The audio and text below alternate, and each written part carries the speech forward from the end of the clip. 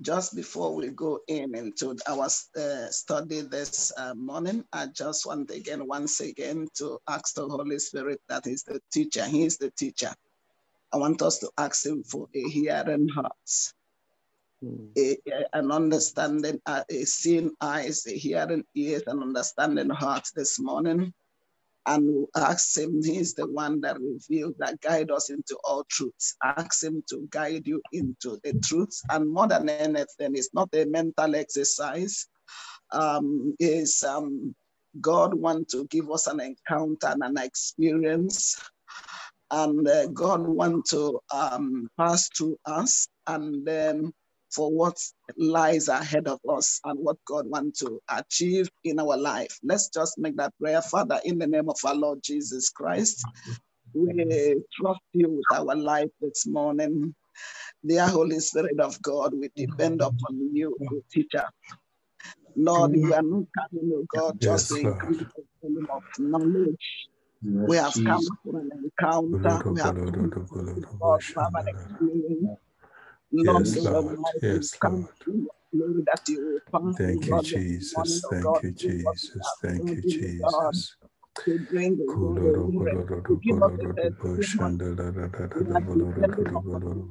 The oh open our understanding to this uh, fundamental matter that you want to discuss uh, for such a time as this. We bless you, give us the hearing ears, understanding hearts Give mm. us, O God, the same eyes to the praise and glory of the Father. We take authority against the evil one that want to stand against us, that want to hinder us, that want to veil mm. your word or mm. twist your word. We stand against the ministry of the twisting serpent. We overcome you by the blood of Jesus. We ask you, Lord Jesus, have your way. Let there be clarity of thoughts. In Jesus' name, amen. Okay, I want to um, thank you for this uh, um, section. Um, Astrolight um, briefed me on what he has done so far and the area he wanted to look at this morning. You've been dealing on the matter of uh, uh, as touching raising agent of uh, revival on the um, uh, concept of the issue of prayer. And this morning he has asked me to deal on the prayer of faith the prayer of faith. Um, so this morning, uh, I'd like us to quickly um, go into the scriptures in the book of uh, Luke chapter 18, verse 1 to uh, 8, and then going to look at Mark chapter 11, verse 23. We are looking at the, the prayer of faith. Um, if uh, just before we get to that, uh, Luke 18, when Paul was writing to the people of Ephesus.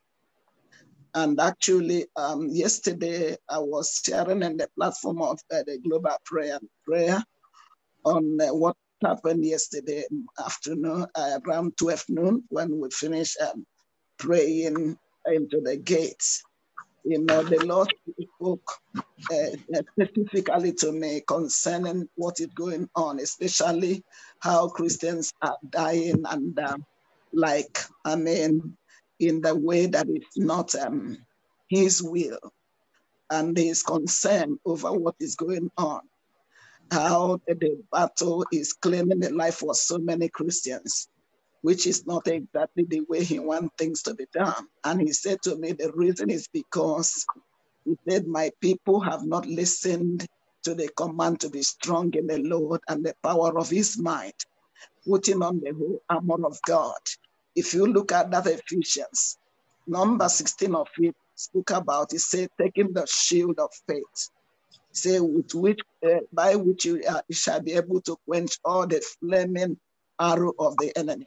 Now, when he he mentioned uh, many pieces of armor, but when it comes to this matter, I say above all, taking the shield of faith.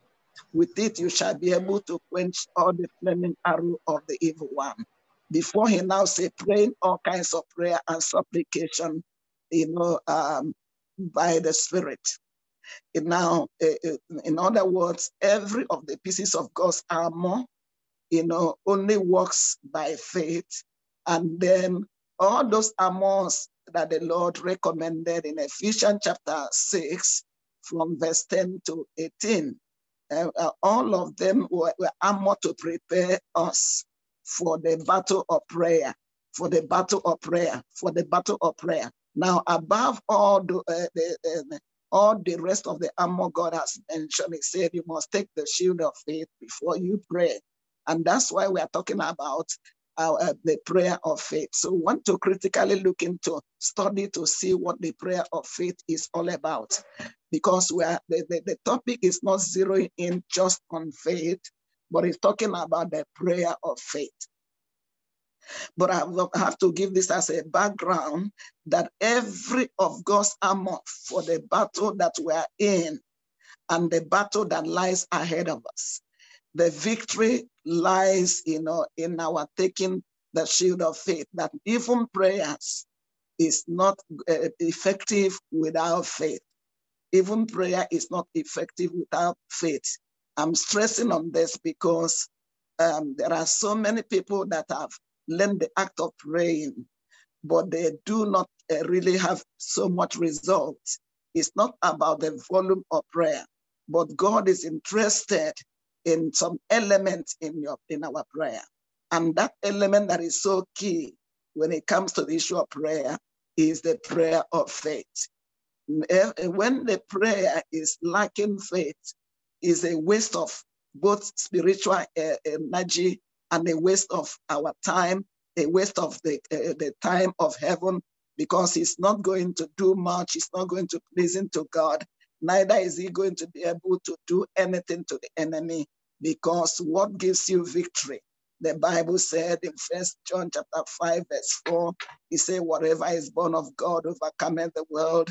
This is a victory that overcomes the world, even our faith. So, even our faith. So, uh, faith is always the vital, you know, active ingredient in whatever thing that we are doing to both get the attention of God or the, and to be able to deal with the enemy. And so this morning, like we said, our we zero in into what the prayer of faith is all about. And by the grace of God, we want to be as uh, concrete as possible to be able for us to understand uh, and to examine our prayers, to examine our prayers, to see if our prayers has been the prayer of faith. I tell you, um, the result you get in life is tied to how much your prayer, you know, is um, uh, is meet this condition of being the prayer of faith. So I'd like us to go to that Luke chapter 18, now from verse number one. Now uh, it says, as he spake a parable unto them from verse one to this end, that men ought always to pray and not to faint. Men ought always to pray and not to faint, you see? And we say the time we are in is a critical time, is a time that prayer is inevitable.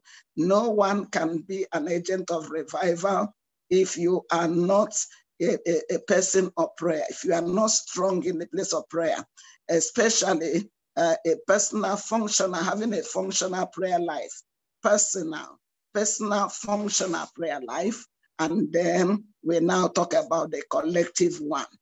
And uh, um, it's also interesting to know that uh, uh, a praying is a praying with all kinds of prayer and supplication must be a person who understand how to pray all kinds of prayer, all kinds of prayer, not just one form of prayer, not just a prayer of petition, uh, not just a prayer, you know, of uh, asking and receiving, but uh, who also understand the prayer of thanksgiving, a prayer of worship, which God has ordained to deal with the enemy. Not just that, but also a prayer of consecration, a prayer of consecration, a prayer of inquiry.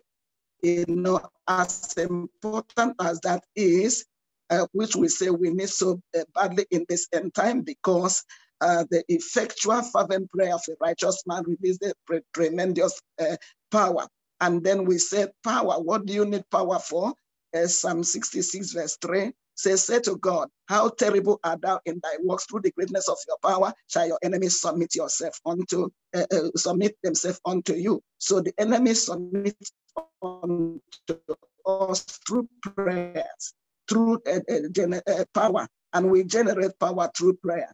But I'm saying to you, the amount of power you are able to generate is a tie to the this ingredient of being able to ensure that your prayer is a prayer of faith. So we have already said that he a parable that men ought always to pray and not to faint. Now, first of all, if there is nothing that will make you faint, the Lord will not uh, that way. If there is nothing to make you faint, the Lord will not add that clause there. Then what our interest is and then he now begin to give them a parable. Say there was a judge in a certain city, he said, who was a godless uh, man with great contempt for everyone. Uh, the, the, the, widow of that city came to him repeatedly. Um, verse number three, and there was a, a widow, um, uh, King James, uh, a widow in that city, and she came unto him saying, Avenge me of my adversary. I want you to note that. And then, and he would not for a, a while, but afterwards he said on, on said within himself, though I fear not God nor regard man. Verse uh, number uh, five. But this woman is driving me crazy. I'm going to see that she gets justice because she is wearing me out with her constant request. King James said, Yes, because this woman troubled me. I will avenge her, live by her continual coming. She uh, she weary me. And then verse number eight, then the Lord said, listen, eh, learn a lesson from this uh, evil judge. Verse seven, and shall not God avenge his own elect, which cry a day and night unto him, though he be along with them. Verse number eight, I tell you that he will avenge them speedily. Nevertheless, when the Son of Man cometh, shall he find faith on the earth? When the Son of Man cometh to answer the prayers, when the Son of Man cometh to intervene because they are persistent in calling upon God day and night, when the Son of God come to, uh, uh, you know, to answer them because continuously they have been there and praying. But then he will look for an ingredient. He says, shall he find faith? Shall he find faith? When he comes to look at, listen to the prayer, when it comes to intervene, whether the prayer is a personal on a personal issue, whether it's a prayer you are praying for other people, whether the prayer is a prayer concerning your family, whether the prayer is concerning the city or, or concerning you know the, the, the souls of men or concerning what is going on in our world, the ingredients is uh, that God look for remain the same. The Bible says, shall he find faith? Shall he find faith? Now, uh, the question is now, uh, what is it about the prayer of faith? What is the characteristics of a prayer of faith? How do I know if my prayer is a prayer of faith or prayer of doubt? Because we'll see obviously that what moves God is not the continuous prayers, as we can see even in the book of Matthew, chapter 9. I want us to establish all these things so that we understand because it's very critical. It's very critical that in such a time that we are in, we do not have time to waste spiritual energy. And it is so heartbroken in the uh, before the Lord that many there are many people that look like they are very mighty prayer warriors, but they have very little result in their life and situation, and it can be so frustrating. In fact, people usually mock and say, "You pray too much." yet there's no evidence of the prayer. I mean, that it can be so, you know, disheartening and discouraging. And that's why God wants us to look to see what is the missing link. What is it that is missing in our prayer? Because it's very important. Prayer is explosive, is, a, is a, one of the, I mean, the greatest weapon the universe have ever known the issue of prayer is greater than any weapon of the world. But the beloved, when they set this ingredient of faith is lacking in it, then it can be, I mean, it be totally, totally, you know, uh, useless when it comes to the issues of life to deal with the enemy and to get the attention of God. Now, in Matthew chapter 9, verse number 7, I just want to draw our attention that the number of cry we cry is not going to move God except he's able to determine the position of our faith in the place of prayer. In Matthew chapter 9, verse 27, Matthew chapter 9, verse 27. Matthew chapter 9, verse 27. If you find it, you quickly read for me.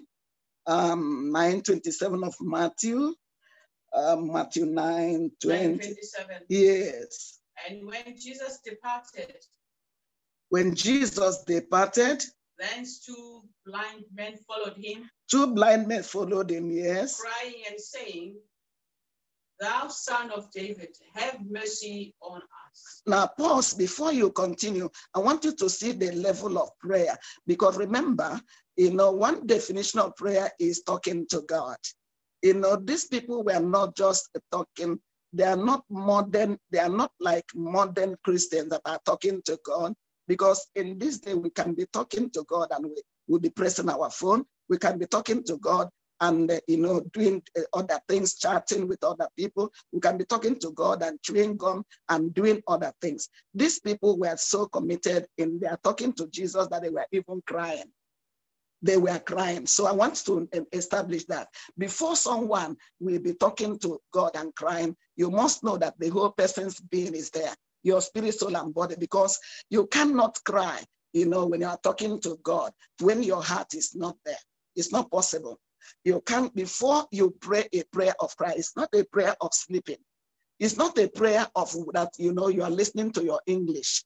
Before somebody cries in prayer, check it eh, all the anytime you are crying in prayer, you must know that it's not a prayer you can easily fall asleep. So I'm just trying to show you that even prayers that are coming from the heart, even prayer that involve our crying, is not enough to move God.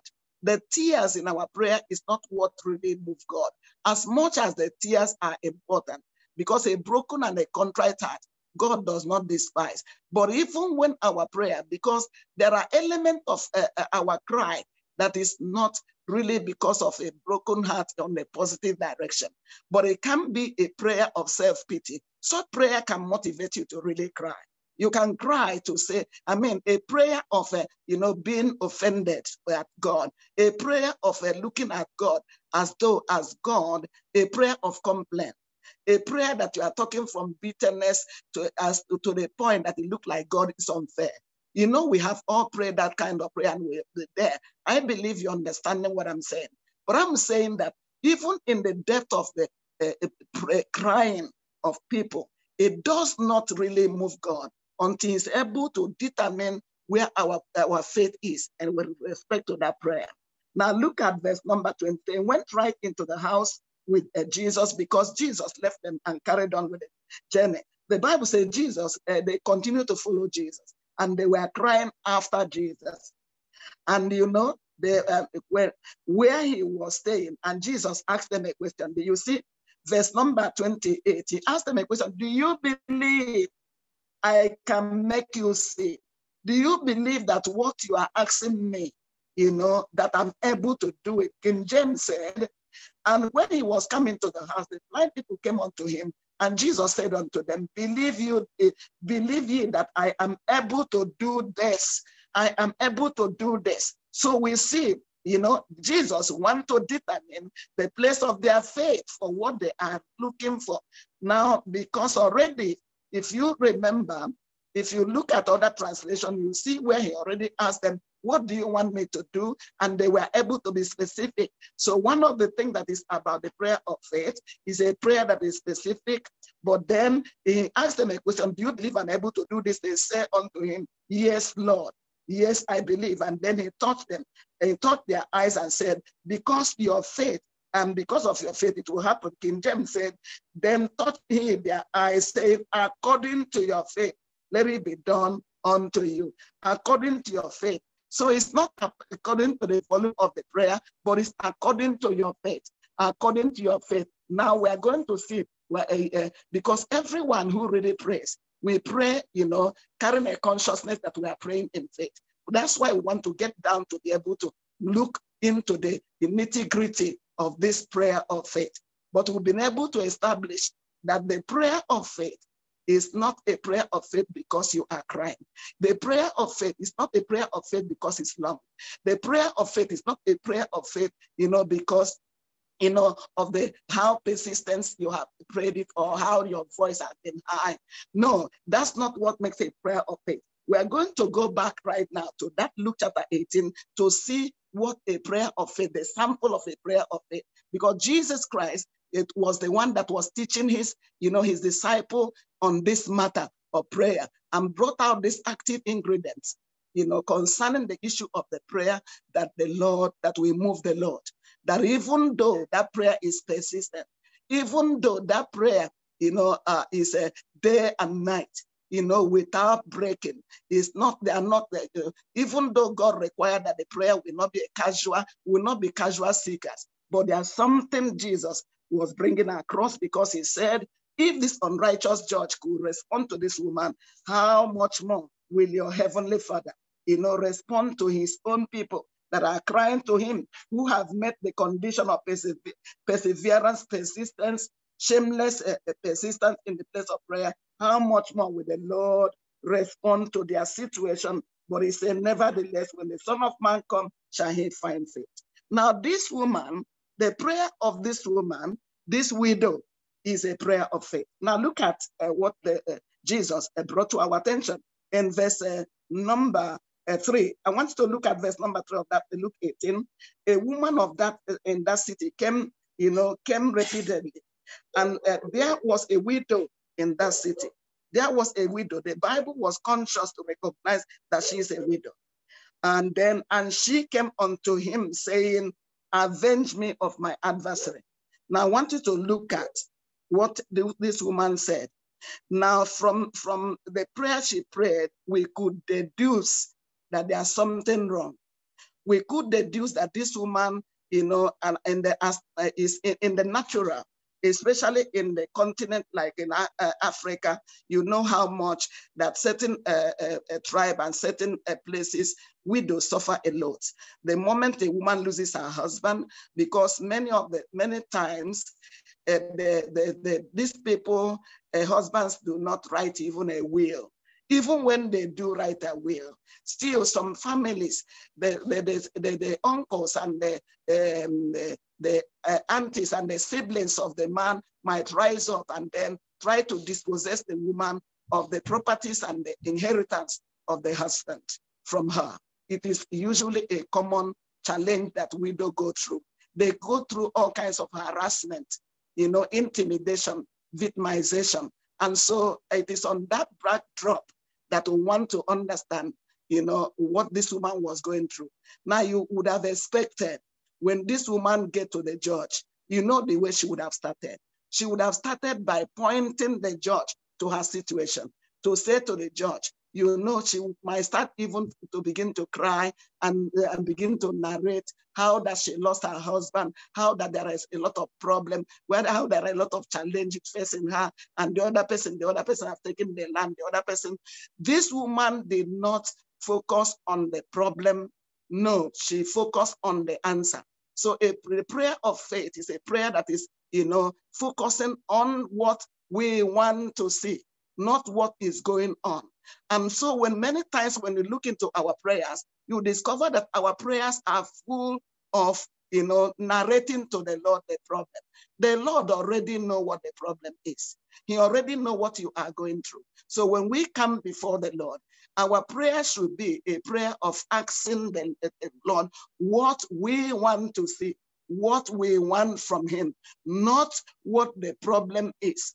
You know, that uh, the, the narrating the problem is simply, you know, praying the problem is not prayer. It doesn't matter how many hours you spend praying the problem, telling the Lord, you know how much this sickness has been in my body and what the other person has done because of this sickness, what the other person has done because of this. Thing. So those prayer are not prayer of faith. They are simply complaint. And such complaint do not move God. They are, you know, drawing the attention of God to become, you know, for uh, to express self-pity is not the prayer of faith.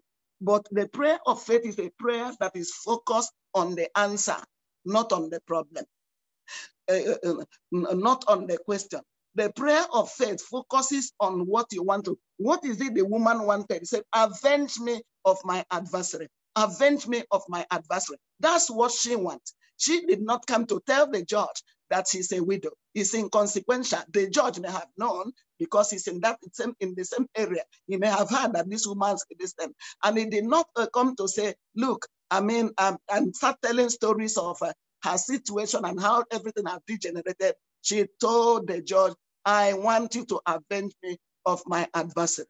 And so we are saying that many times it's important to begin to analyze our prayer. Are we praying the problem or we are praying the answer? What we want to see, what we want to see. That's one characteristic of a prayer of faith. A prayer of faith is a prayer that, you know, pray what you want to see. Number uh, two, a prayer of faith is the one that recognizes, you know, the God's ability, God's ability, God's power, just like the, the, the, the, the, the man, the blind man in Matthew chapter 8, when he came, uh, he came to, no, sorry, the leper, the leper, uh, when he came to Jesus, he said to the Lord, uh, uh, if you will, you can make me clean. The leper's uh, problem was he's not sure if Jesus was willing, but he could, he saw the ability in Jesus to say, if you will, you can, you can make me clean. I know you have the power you are able to remove this situation. I believe so much in your power, but I'm not sure if your is your will. And Jesus eternally, you know, uh, you know, revealed the will of God. It's always the will of God to, for you to be healed. Jesus said, I will be healed. I will be healed. So it's important for us to establish that. So a prayer of faith is not a prayer that we put if, uh, you know, if, if, because God have revealed his will. His will, when you are praying, for example, when you're talking about the issue of a prayer of faith of receiving any form of miracle, they say healing, the uh, healing, deliverance, being delivered from demonic uh, powers, uh, the healing of anything that Jesus Christ has secured on the cross of Calvary. You know, no matter what it is, whether it is healing, physical healing, deliverance, and all that, he already have done that. He have, so you don't need to find out whether it is the will of God for you to heal.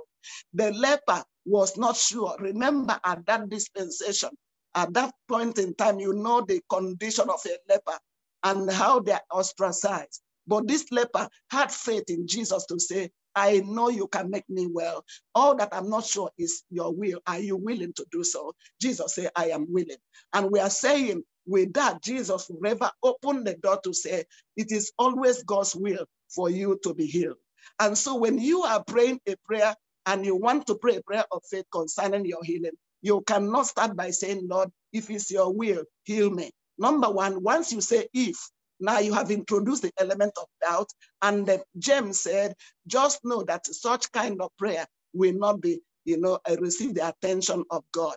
Remember, in James chapter number one, he said, uh, you know, uh, was talking about, he said, uh, don't be he said, rejoice when you are tempted, uh, you know, uh, you are surrounded with so many trials, but in the midst of the trial, what's important is that if any man uh, lack wisdom, verse five, let him ask of the Lord and give to all men freely, but let him ask in faith, not doubting, you know, but because a double-minded is unstable, let that man not think he will be able to receive anything from the Lord.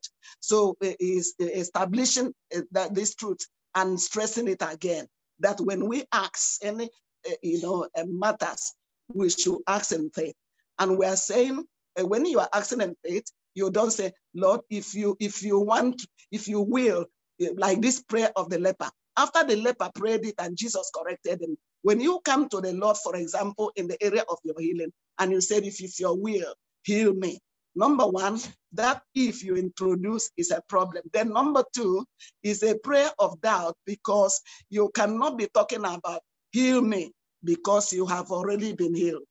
You have already been healed. According to the book of uh, Isaiah chapter 53, verse uh, 6, he said, with his stripes we are healed. So every prayer of healing that uh, start by saying that we, you add the article will, Lord, I believe you will heal me. That's not true.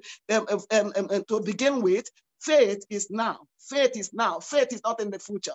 And you know, uh, sometimes I get worried you know, after spending like one hour in a place of prayer, you ask somebody to summarize the prayer, and the person will rise up to summarize the prayer and cancel the prayer because he has introduced the element of hope in the prayer instead of faith. You don't say, Lord, I believe that you will answer this prayer. When you say, I believe you, faith is not in the future. Faith is now. Say now, faith is a substance of things hoped for. Now, now. So every prayer of faith is, is expresses itself in the now. It's not a prayer that is in the future. So a prayer of faith is a prayer in the now. Now, I want to buttress that by going to the book of John, chapter uh, 11, because Jesus again showed us what a prayer of faith will look like. Uh, when we are looking for, we want to pray a prayer of faith quickly in John chapter 11. Uh, um, John chapter 11 is a popular uh, chapter, you know, concerning what happened between Jesus, uh, Lazarus, and uh, Jesus and the family of Lazarus, the family he loved so much.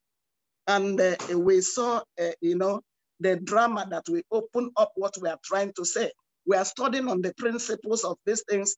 And I tell you the truth, if we can understand it, you will discover that God answer prayer more than 110%. He answer our prayers. Now look at uh, uh, verse, um, let's look at verse, um, if you uh, remember, yes, from verse, um, okay, verse. Now from verse 30, from verse, look at the where he met Martha, uh, verse, um, verse 32. When Martha arrived and saw Jesus, she fell down at his feet and said, Lord, if you had been here, my brother would not uh, have died. When Jesus saw her weeping and saw other people wailing, he was moved. Okay, this is Mary. Let's go to Martha first quickly. The, the Mary before Martha. Um, yes. Um, look at uh, what uh, the, moment he met uh, Mary. The moment he met Mary, uh, verse number, verse, verse 22. But even now, okay, that's Martha talking from verse 21. Martha said to Jesus, Lord, if you had been here, my brother would not have died. But even now, I know that, that God will give you whatever you ask. Jesus told that your brother will rise again. Look at Martha's response. Yes, Martha said, when everyone else is rising on the resurrection day. You see? And can I tell you that this discussion kept Jesus stand still? Remember the discussion from the verse one Jesus was moving to go and raise Lazarus. That was the agenda for that day.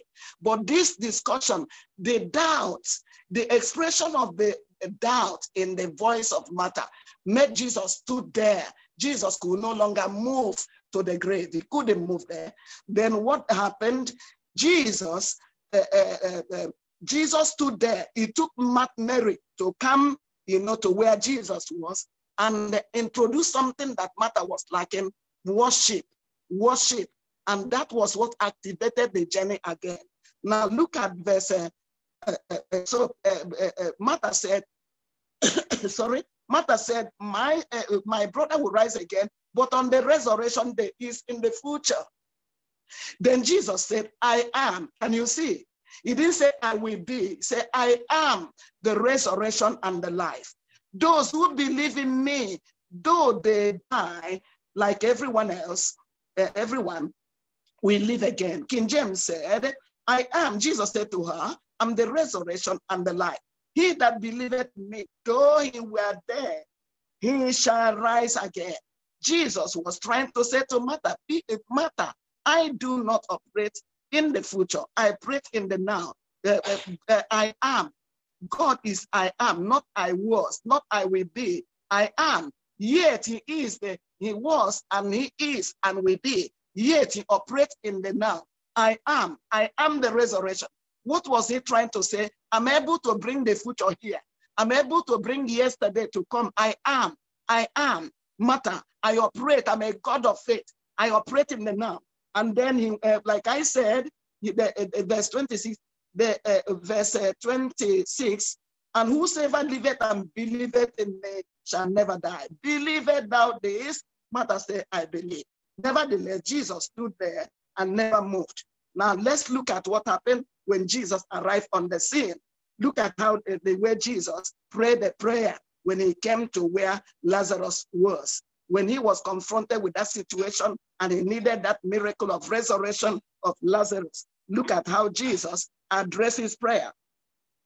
And then look at verse, uh, um, that's verse number, let's look at verse uh, number, verse number 39, verse number 40.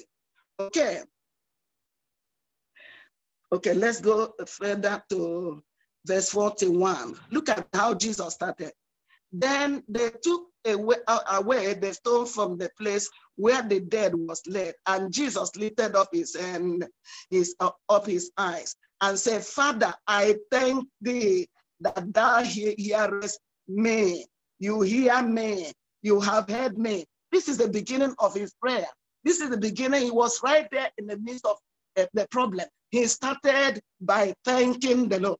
He said, I thank you because I know you have already had me concerning this matter. That's a prayer of faith. A prayer of faith starts with, you know, in uh, recognizing that the thing is done and coming with a thanksgiving. In other words, if I am sick in the body, what do I do? Uh, for example, number one, I have to, I believe that Jesus Christ already paid the price on the cross of Calvary. He was wounded for my transgression. The punishment of my peace was upon him. And with his stripe, I'm healed. And so I start by thanking him because I am healed. He himself, you took my infirmity and you carried my sickness. The punishment of my peace was upon you. So I thank you because I am healed. You why? Because you paid the price on the cross of Calvary. And so when I come from that angle, what is the next thing that I'm going to do? I know that the symptoms and the sickness in my body is not the Lord that has put it there. Therefore, I address the enemy. And that's bring us, you know, to the next thing that we're going to see, you know, to command, to give a command. But Jesus started by saying, I thank you because you do what you hear me all the time. We are talking about the prayer of faith. I thank you because you hear me all the time. And then he now said, You always hear me, but I say this out loud for the sake of all the people standing here so that they will believe that you sent me. After he has said that, he gave a command. He gave a command and said, Lazarus, come forth. After giving thanks, for example, concerning your healing, like I said, eh, every prayer of that has to do with any form of healing, whether it's physical healing, spiritual healing, any form of healing, that you start by saying, Lord, I know you will. You already canceled that prayer. Any a, a prayer that is put, you know, the, the, in, in such a way, you know, that you are praying as though the Lord has not done it is not a prayer of faith, but a prayer of faith when it comes to the issue of healing is a prayer that starts with a thanking God because it's already done. You are coming from that angle that it is done. And so when you know you have already received it, then, then what do you do? You give thanks. Then what else do you do? You have to give a command. You command the sickness in your body to leave. You command because it's a mountain, you command the mountain to move. You command your body to receive healing. That's a prayer of faith. The prayer that like Jesus did. When he has finished doing that, he gave a command he gave a command and said, you know, Lazarus, and came forth. And then we saw that the, the, the it, that was exactly what happened. Now, if you remember also, when Jesus had to pray, when he was confronted with a lack of resources, you remember, when there was lack of resources uh, uh, to feed the uh, 5,000 people, you know what he did? When the disciples were panicking and said, We don't have what it takes. So how can you say we have to feed these people? Uh, Jesus said to, to them, What do you have? He said, We don't have anything. It's only five loaves that this uh, you know, young man brought for his lunch. He said, Don't worry, bring it. And he said, make the people sit down in, in, in 150s. And they did. They are like wondering what did this man is you know, up to. He said, even if we all go to work, one year wage will not be enough to give them a bite. Jesus said, make them sit down. And Jesus took that limited look, that limited resources. And what did he do? You know, if it was us, we could have started by, you know, telling the Lord, what is this thing is nothing. You know, you are the one, you know, we complain and we talk and talk. But Jesus, when he took it, what did he do? He give thanks to the Lord and thanking him for the divine provision. Thank you for this small one, this one, this what you provided that is going to be able to feed. When he gave thanks, you know, that was a prayer of faith. And then he gave a command, the thing to be broken, and the multiplication comes. So we are talking about the issue of the prayer of faith. the prayer of faith. Now let's quickly go to uh, um, that Mark chapter 11 to be able to uh, throw more light into this matter. And I'm trusting that the Lord is helping us to understand, you know, the element of faith and how we nullify hours and hours of prayer by the way we conclude it, by the way we pray, or by the way we speak after the prayer is done. We many times have nullified our effort and the whole thing, action and I mean, it's like we cancel the prayer that we have made through, you know, introducing the element that is not faith there. Now let's go to that Mark chapter 11. Mark chapter number 11. Mark chapter number 11. Um, Mark 11.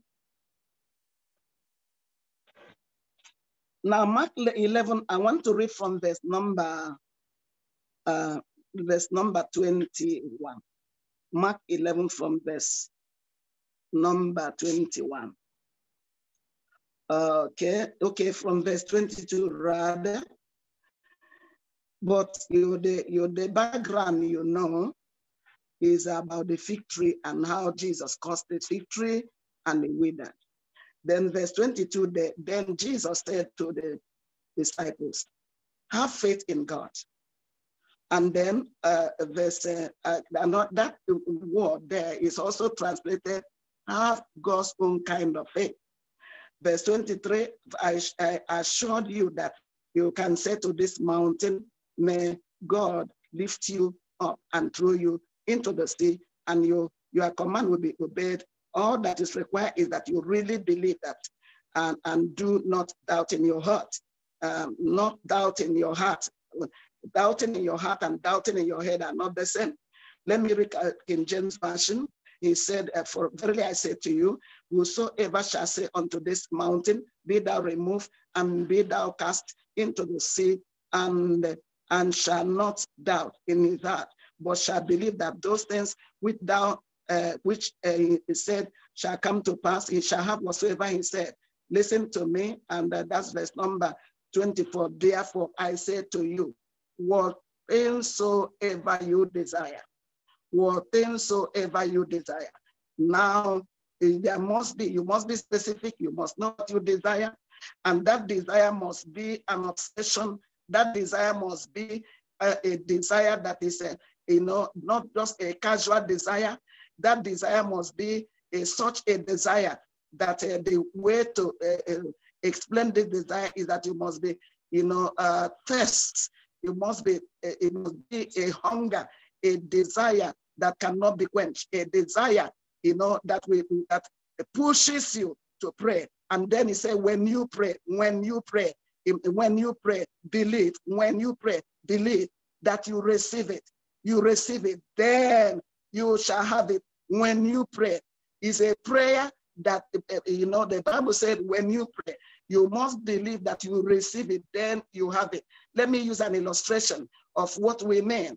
For example, if you are praying for healing, with using again healing as a, an illustration. For example, you are having headache, you are having a migraine headache, and then you stand in God's word. You, you desire to experience healing because healing has been given. You desire to experience healing, and then you pray according to the word of God, or somebody pray for you according to God's word, anointing you with oil in the name of the Lord. The Bible says the prayer of faith is what we raise the sick. And we are talking about what is this prayer of faith?